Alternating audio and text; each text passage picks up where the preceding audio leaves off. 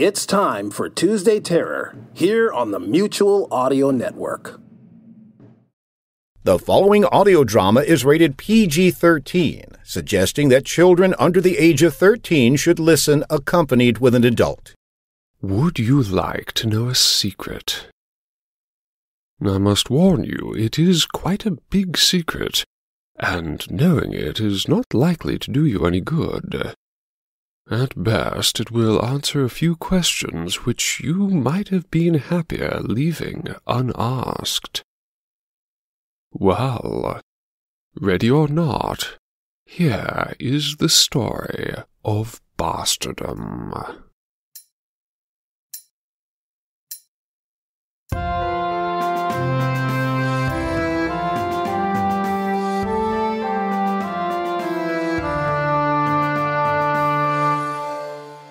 Hello, strange world.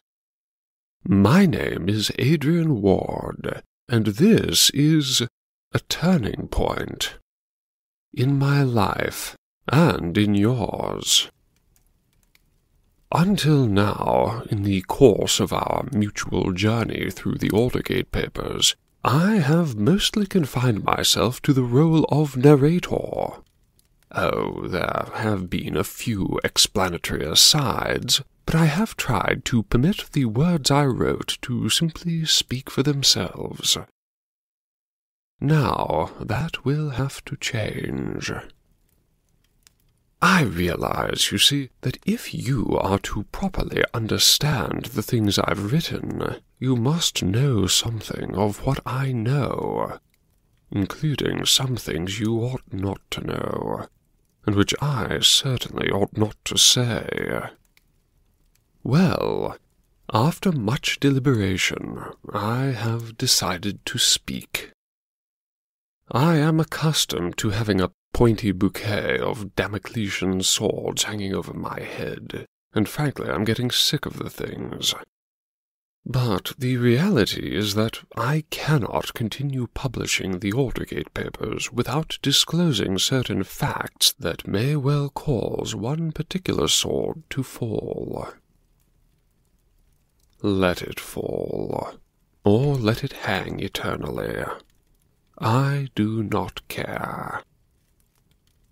You, on the other hand, probably do care, and for that reason I suppose I ought to apologize, because whatever danger I may be in, I have now put you in it as well.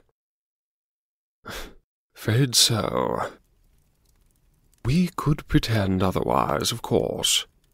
If you like, you can take comfort in the old myth that the way to escape the danger of a forbidden secret is to shout it from the rooftops. No longer a secret, no longer forbidden. That's the logic. After all, they can't kill all of us. Yes. Trouble is, they can. And do, occasionally. Just ask the good citizens of Castro, Gaoshang, Indianola. Their silence speaks volumes. So, if we do all end up either slaughtered or repurposed as blind mute slaves, well, I am sorry. For what it's worth, I really don't think that's going to happen. And honestly, that in itself is a bit worrying. Be that as it may, too late to turn back now. Iacta alea esto.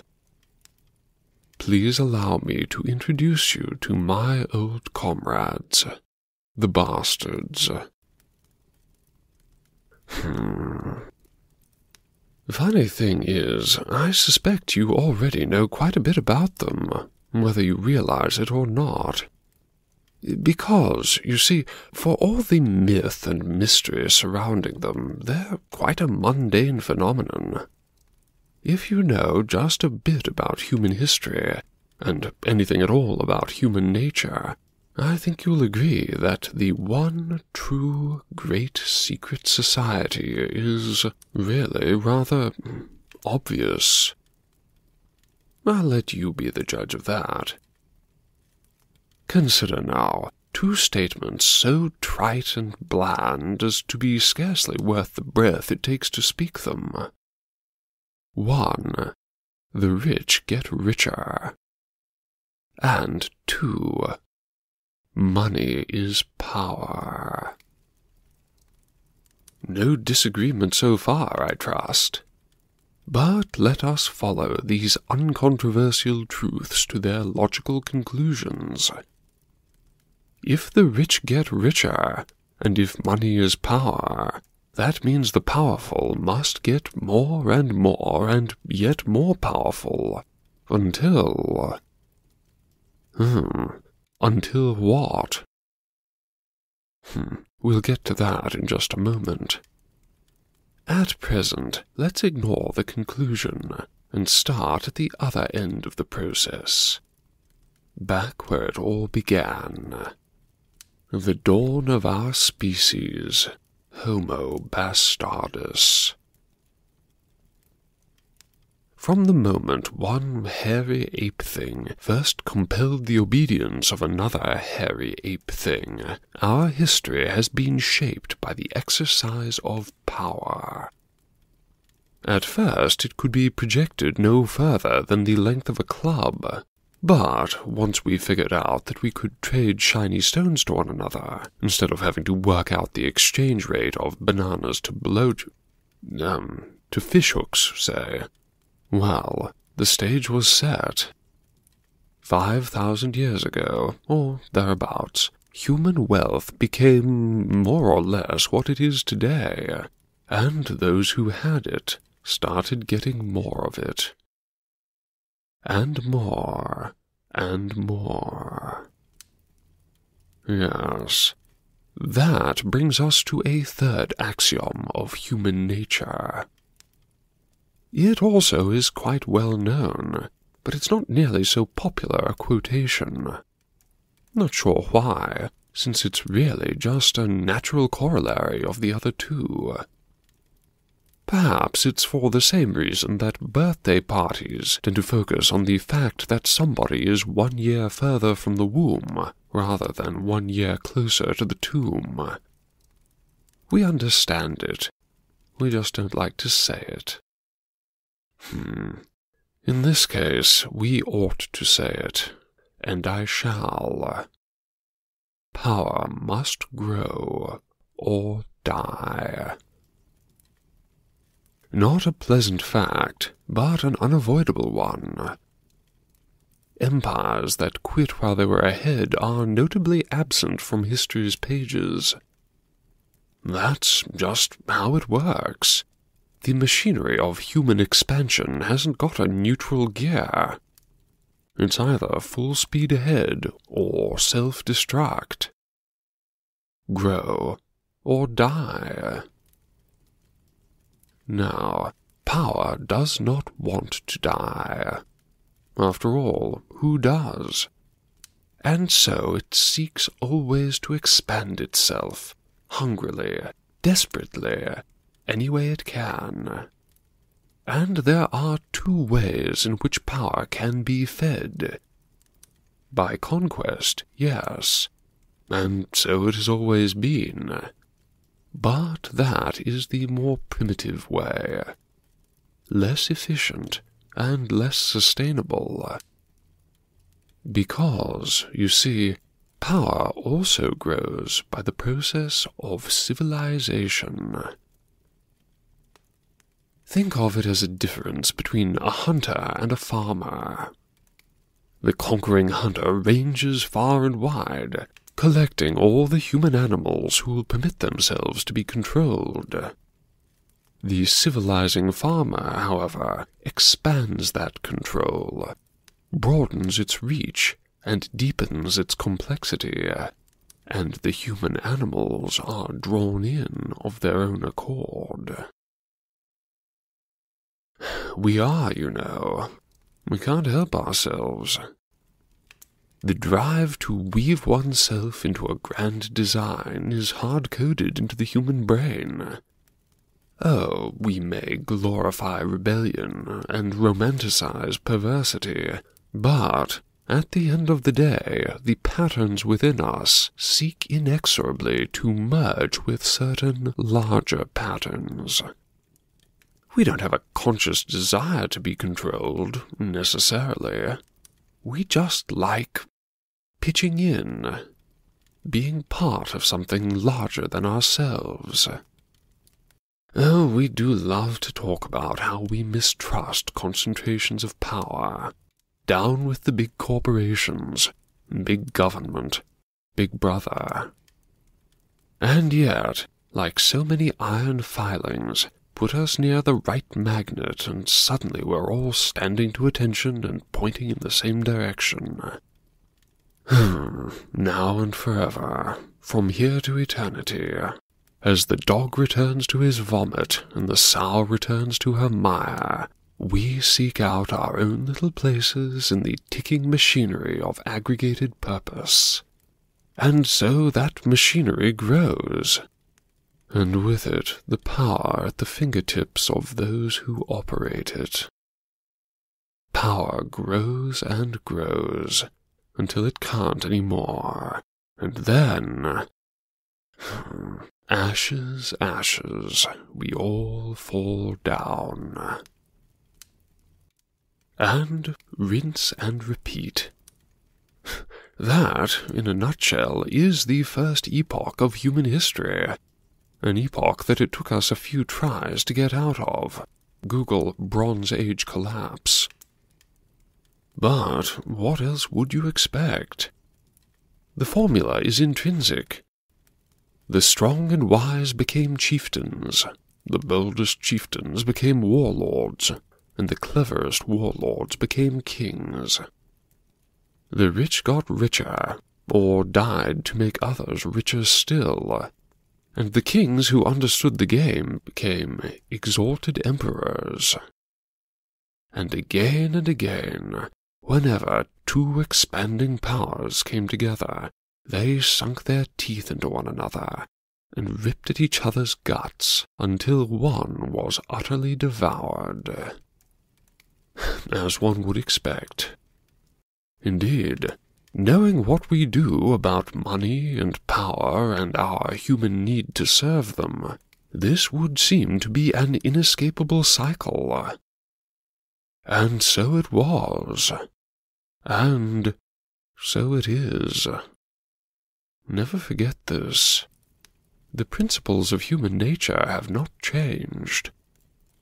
We are still the busy cogs and wheels that make the time bomb tick. We can't help it. But perhaps we can be helped. Because there is another aspect to our nature, and it is this that the oldest and strongest emotion of humankind is fear. Hmm.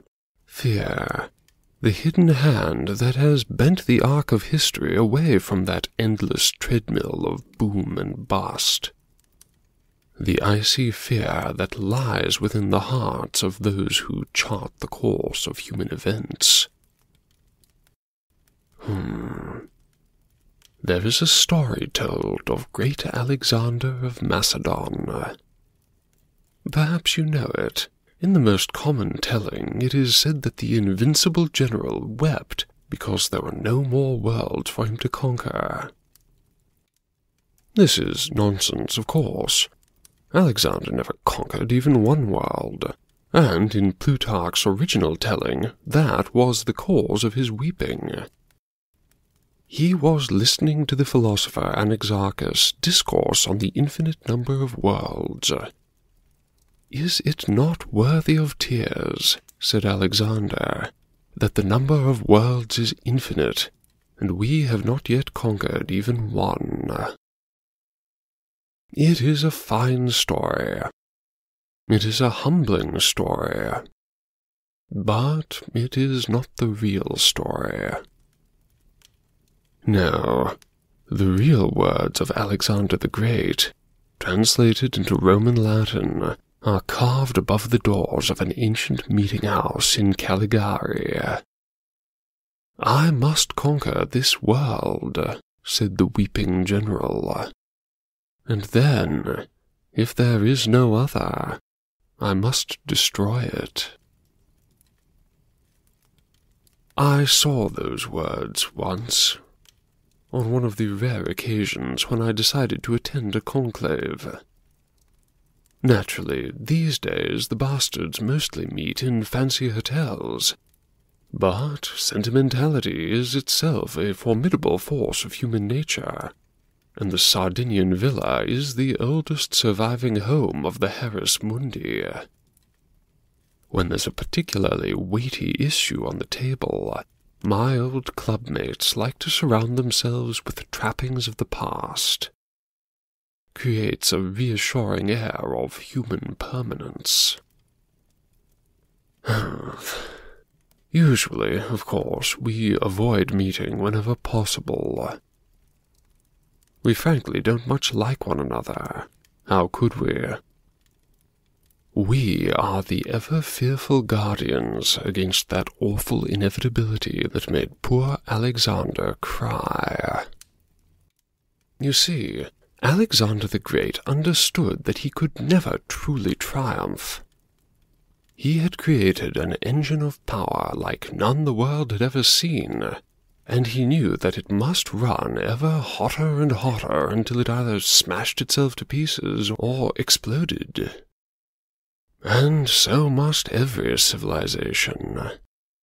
Our fate is to forever tear at one another for the honor of, at last, tearing ourselves apart. Unless. Hmm, yes, unless. There is another way. Suppose an equilibrium could be created, a grand balance in which power is pitted eternally against power, rising here and falling there, but nowhere growing great enough that its inevitable death throes smash us all back to the Bronze Age. Imagine the stones of an archway, which, pushing unceasingly against their neighbors, hold the arch itself forever stable. One Alexander alone could not help but conquer all and perish for it. Two would destroy one another in the attempt. But say you had a thousand, not Alexander's, but his weakling heirs, with all his power, but none of his lust to expand it. A thousand semi-secret scions, each with a fortune far in excess of anything you will find on the Forbes list all pressed together by their fear of themselves and of their inheritance. They are the Heres Mundi, the heirs. and, contemptible as they are on a personal level, these illegitimate inheritors, these bastards, are humanity's alternative to a state of perpetual self-destruction. That's just how it is, and has been for ages.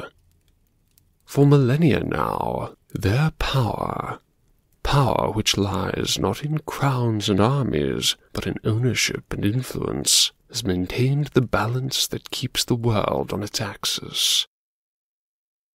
It isn't a job to be envied, Cursed are they, for they have inherited the earth. Hmm. We have, I suppose I ought to say. I did submit my resignation, loud and clear, but I'm not certain that it took. There is no formal process for getting oneself disinherited. The issue doesn't generally arise. You see, most bastards are born to that life, raised in the twilight depths of wealth that surpasseth understanding.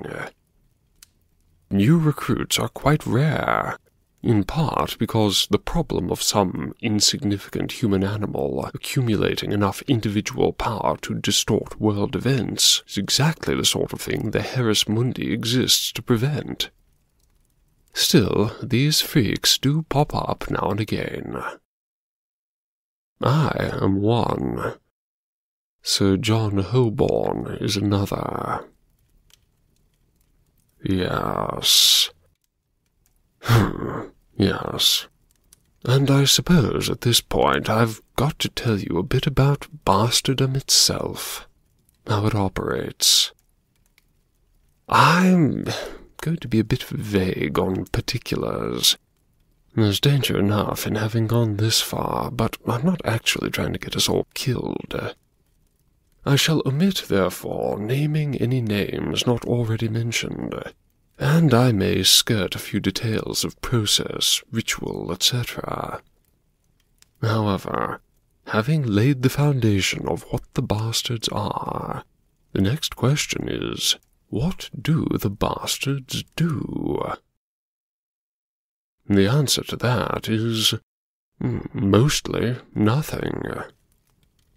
And it's not easy. Humans are terribly dynamic creatures, and imposing nothing on them can be a dreadful chore.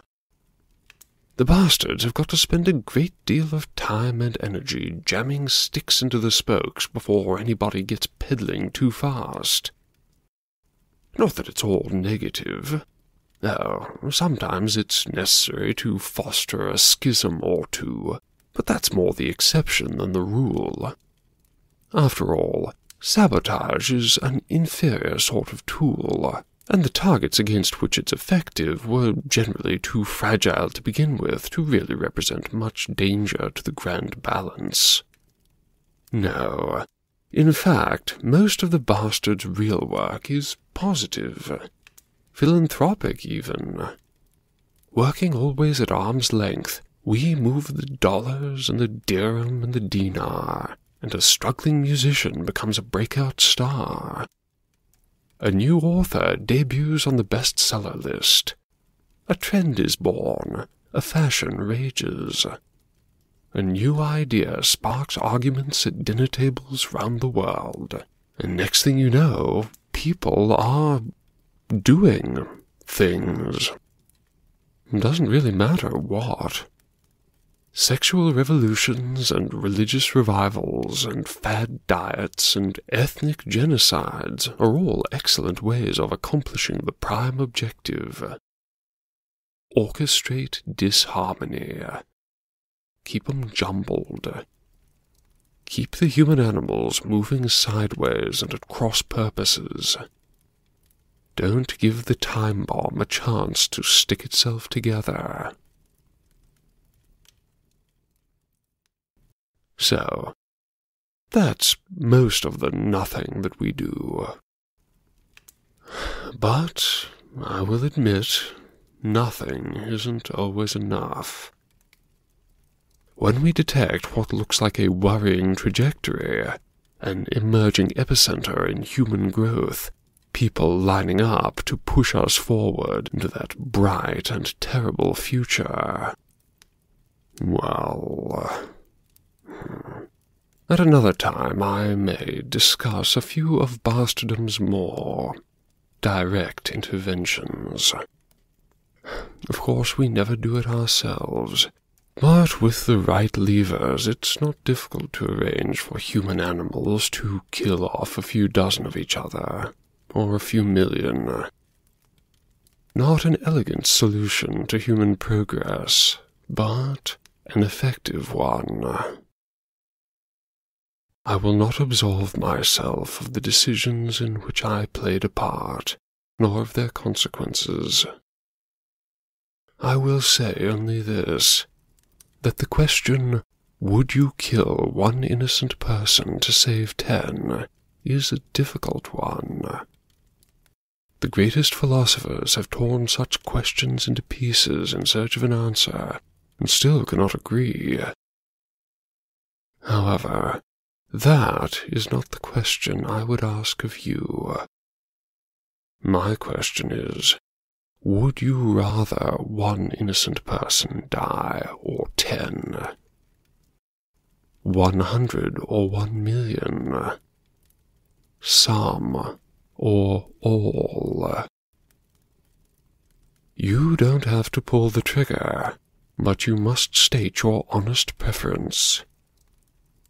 It's not a trick, and it is a very easy decision to make. The lesser of two evils is evil, but it is also lesser, and you know it. So, just like you, I do not approve of everything the bastards do, and I didn't when I was doing it as well. And, like you, I nevertheless prefer them to the alternative. Hmm. So why did I try to leave? Hmm. That's a story I really can't afford to tell. Not now, at least. Suffice it to say that, in spite of everything I've talked about, I do aspire to greater things. I had an idea, a plan, which, if it had succeeded, could perhaps have opened doors of which we human animals have scarcely even dreamed. How the bastards found out about Project Sybil, I do not know, but their response was thorough. I had spread the work so cleverly across eleven laboratories and research facilities on six continents.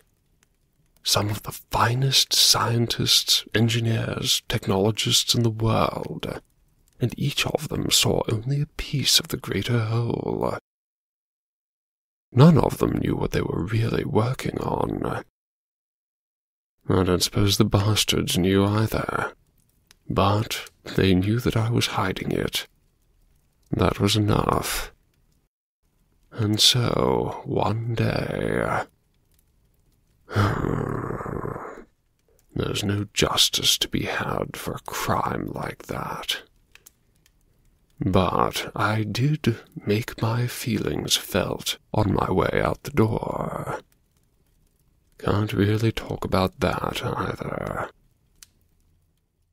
Anyhow, that brings us to the reason for my telling you all of this in the first place.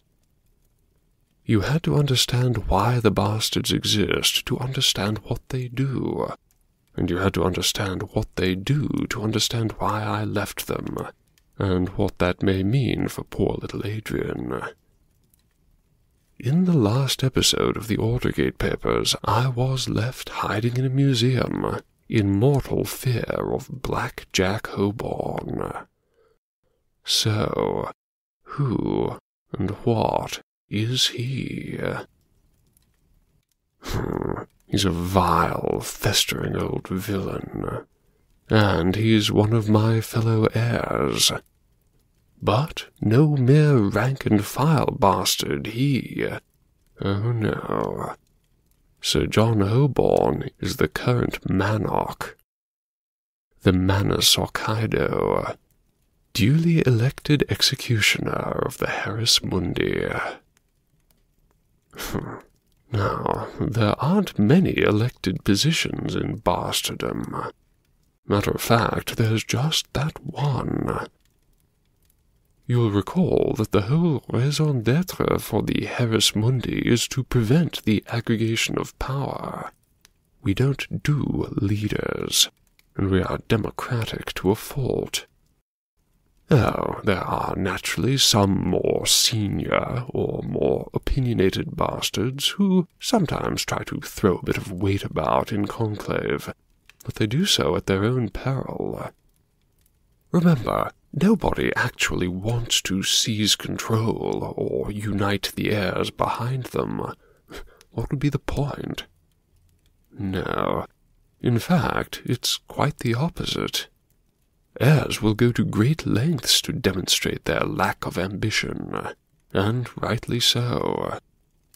If any single bastard were credibly suspected of seeking to upend the great balance, to become Alexander and lead civilization into the supernova, well, they would have to be destroyed at once.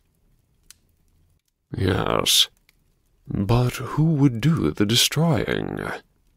That was a thorny little problem for the ancestral bastards to work out. Oh, they'd all happily sign the death warrant, but who would carry out the deed? An heir who can't be trusted is an heir who must be killed. But how could you then trust the heir who did the killing? You must understand, throughout history there have been a number of well-documented cases of heirs so obsessed with demonstrating their humility and harmlessness that they'd turn up naked to a conclave and demand a cavity search. Uh, different strokes, I suppose. No judgment here. But, no, you could never expect any bastard to volunteer to kill another. An act of leadership and an act of violence. They'd be next on the scratch list, and then who'd volunteer for that job? No. To ensure the enforcement of internal discipline, the Heres Mundi required a Lord High Executioner. The Mannoch, duly appointed by a two-thirds majority of the full membership, only they are permitted to initiate violence against the person or property of a fellow heir, and then only with a simple majority of conclave approval. Hmm. Oh. The exception to that rule is the Mannoch themselves. Anybody can kill them, or have them killed, at any time, for any reason. Balance, you see? Which means that, in my current predicament, I could, technically, slay Black Jack Holborn in cold blood, and the heirs wouldn't bat an eye. Somehow I don't entirely fancy my chances. But, well, we shall just have to see, shan't we? Anyhow, there you have it. Now you understand a bit more about me and my situation, and about the hidden history of the human race. I do hope you enjoyed it. And, assuming we all survive that long, I hope you'll join me next episode, as little Adrian continues his quest to solve one murder without starring in another. In the meantime, come pay me a visit at thealdergatepapers.com. Find the Aldergate Papers on Apple Podcasts as well, and spread the word, won't you? This may be my story, but I suspect it's likely to become everybody's problem. Until next time, I am and shall remain your humble servant, Adrian Ward.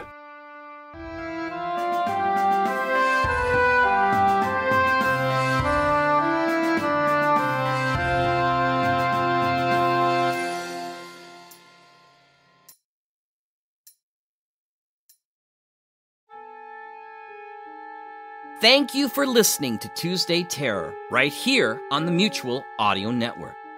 Please consider subscribing to other days of the Mutual feeds, including Monday Matinee for classic live and theatrical audio plays, Wednesday Wonders, our science fiction and fantasy magazine, Thursday Thrillers for action, adventure, mystery, and crime drama, Friday Follies, our end of the week comedy series, the Saturday Story Circle for kids and family alike, and Sunday Showcase, bringing you the very newest in audio releases for the week from our United Artists of Audio, right here on the Mutual Audio Network. The Mutual Audio Network, listening and imagining together.